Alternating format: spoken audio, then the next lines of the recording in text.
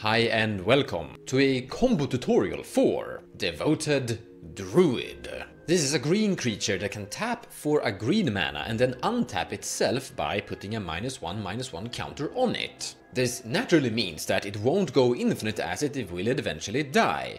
However, there are several different tricks. The first one out is Swift Reconfiguration. This will transform this creature into a vehicle and no longer be a creature. It is normally used as a form of spot removal to remove big creatures that are attacking. But when Devoted Druid and Swift Reconfiguration combines, you can basically put infinite minus one minus one counters on a Devoted Druid because it's no longer a creature, it won't die. A grand total of one green, one generic and one white mana for a two card combo feels pretty okay. The next one is Machine God's Effigy. You will make Machine God's Effigy enter as a devoted druid. The artifact will now have both the ability to tap for green mana and untap itself. And as it's an artifact and not a creature, it can actually have as well infinite minus one minus one counters on it, and therefore infinite green mana. The third is Hazel Brewmaster. For this to work, Devoted Druid have to be in your graveyard, but that's quite easy to achieve.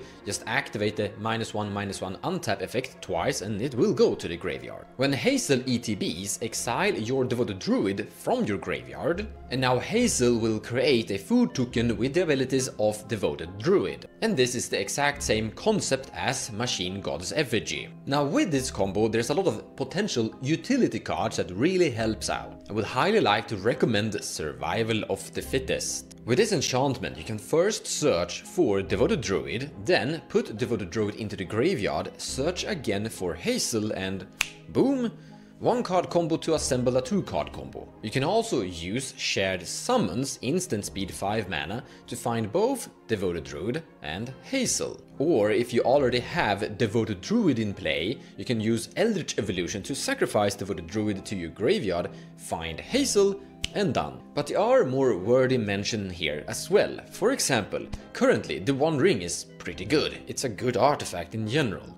And if you wanna include this combo together with the One Ring, like Machine God's Effigy, you could consider Tezzeret the Seeker, because with Tezzeret you can find the One Ring or use Tezzeret to untap the One Ring making Tezzeret into like your secondary One Ring. That is also untapping like your Sol Ring by the way. But Tezzeret the Seeker can also find you your Machine God's Effigy. With an Enlightened Tutor, you can find both Survival of the Fittest, Swift Reconfiguration or and Machine God's Effigy. But once again, you can also use it to find your Necropotence, Rhystic Study, and etc. So this is how you can potentially layer combos together. But how good is this combo actually? What's the final verdict for it? Honestly, it's actually pretty good. It's not one of the best options, but this is a combo that currently Tymna and Thrasius have been heavily picking up, and currently, as you can see, Thrasius is doing pretty good. But depending on your color identities, this is definitely an option for various different commanders